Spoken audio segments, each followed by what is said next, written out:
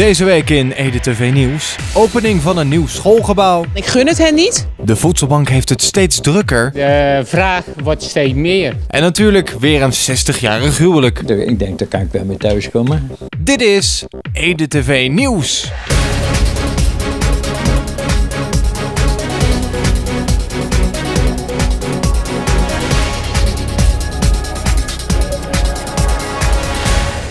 De gemeente Ede is de afgelopen maanden heel druk geweest met het vaststellen van diverse bestemmingsplannen. Deze week ronden ze bestemmingsplan Natuurgebied Veluwe af. Natuurgebied Veluwe is inderdaad een uitvloeisel van de wettelijke plicht die we hebben om voor 1 juli volgend jaar alle bestemmingsplannen geactualiseerd te hebben. We hebben het agrarisch buitengebied bijvoorbeeld vorig jaar eh, eh, voor de zomer vastgesteld gekregen door de gemeenteraad.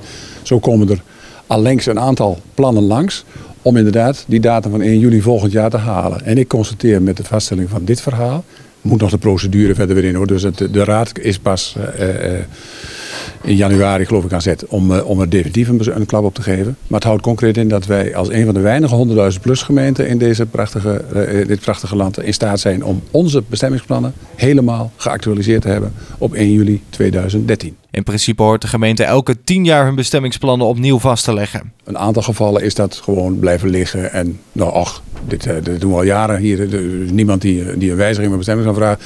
Bleef dat er liggen, dus de sleet kwam er weer op. En vandaar dus dat er inderdaad nog hele oude bestemmingsplannen liggen voor de oorlog.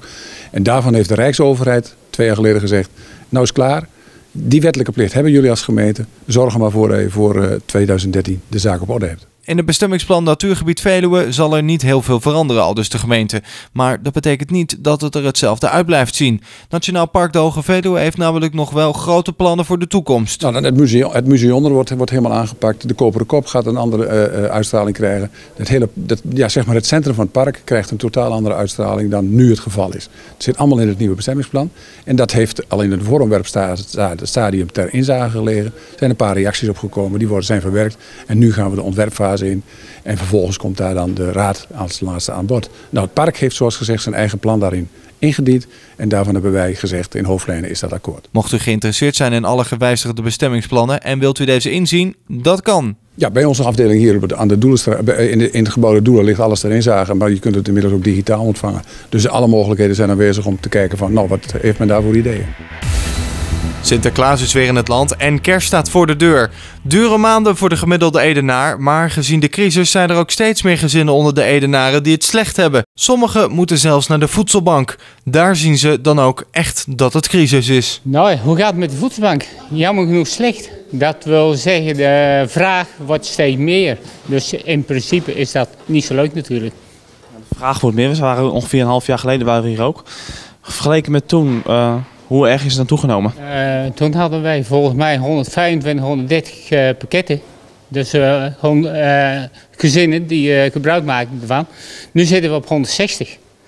Dus dat zegt genoeg, hè? Gelukkig zijn er nog steeds wel veel bedrijven die voedsel aanleveren aan de voedselbank. We mogen niet klagen, maar de hoeveelheid, dat weegt niet op de vraag. Dus de inhoud wordt wel toch iets minder. Want ja, je moet toch delen natuurlijk, hè? Maar ja, deze maand zijn er geweldig veel acties, dus deze maand mogen wij niet klagen. Dus daar zijn we wel blij mee. Wat ik van de crisis merk is dat uh, via de website uh, heel veel verzoeken binnenkomen van mensen uh, om te vragen of ze ook in aanmerking kunnen komen voor, voor een voedselpakket. Hoeveel verzoeken hebben we dan per week ongeveer? Ik kan het niet precies zien, omdat het meeste de officiële verzoeken gaan via de maatschappelijke dienstverlening in Ede. Maar ik denk toch dat er zeker zo'n 8, 9 verzoeken per week alleen al via de website binnenkomen. Maar wat het verwarmender is, is dat er ook heel veel aanbiedingen komen van kerken, scholen, eh, verenigingen. Die voorstellen om een actie voor de voedselbank en dan met name voedselinzameling te gaan organiseren.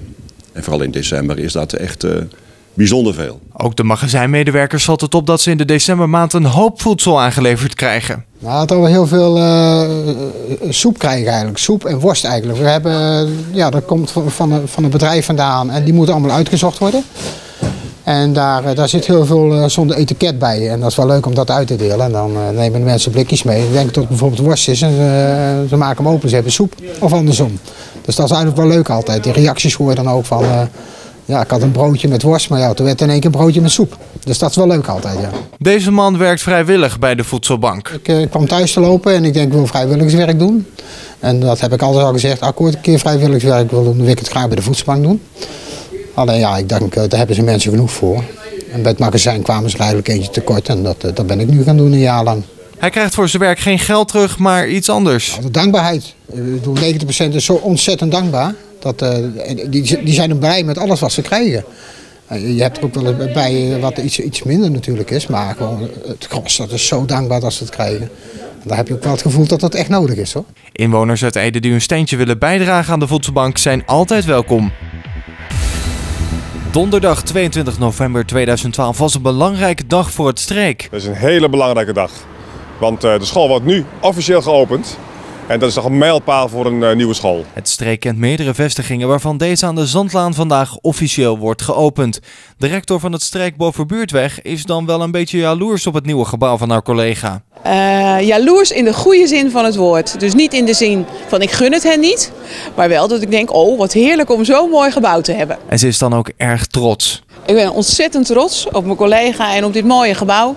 En ik vind het heel erg leuk voor de mensen van de, an- van de locaties hè, die het waren. Dat ze nu zo'n mooie school hebben. Ja. De school is al een tijdje in gebruik genomen door het streek, maar nu alle kinderziektes eruit zijn, kan hij officieel worden geopend. Er wordt zo meteen een monument onthuld. Ja, monument is niet helemaal het goede woord. Het is eigenlijk zeg maar, een soort naamsaanduiding van de school. Hè, waarbij we ook laten zien van oké, dit is een school die ook eh, aandacht heeft voor duurzaamheid. Want als je goed kijkt, dan zie je boven ons eh, naambord een, eh, een zonnecel staan, een zonnepaneel. En dat betekent dat wij ook een school zijn die zeg maar, energiezuinig is. Dus er is heel veel aandacht voor duurzaamheid geweest. Dat vind ik belangrijk, want de jongeren van onze school zijn de mensen van de toekomst. Waar duurzaamheid steeds belangrijker wordt. Dus bouw je een nieuwe school, moet je ook laten zien dat je duurzaam bouwt. En dan kun je de boodschap ook eerlijk aan jongeren meegeven. Niet een leuk verhaal houden en vervolgens zelf niks doen. Nee, we zijn een hele duurzame school met zonnepanelen op het dak, warmte-koude opslag. En eh, zo zijn er heel veel andere ja, nieuwe technieken gebruikt om de energie zoveel mogelijk zeg maar, eh, binnen de perken te houden. De leerlingen zijn ook erg enthousiast over het nieuwe schoolgebouw. Ja, eh, we hebben allemaal nieuwe ruimtes hier. En eh, de keuken is eh, zeker vernieuwd dan de oude locatie. En eh, ik vind het allemaal prachtig. Nou, zometeen om eh, drie uur is de officiële inloop. En daarna komt de burgemeester en die eh, gaat de school officieel openen. En dan gaan we met elkaar eh, een klein feestje vieren.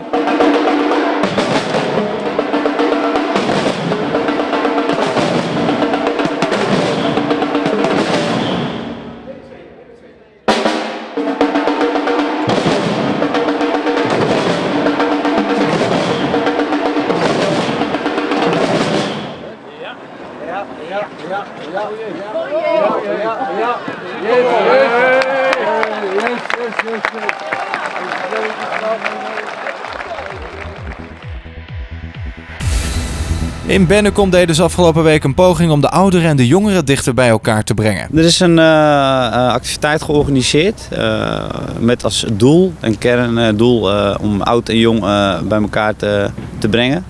In dit geval Opella en in mijn geval dus de jongeren.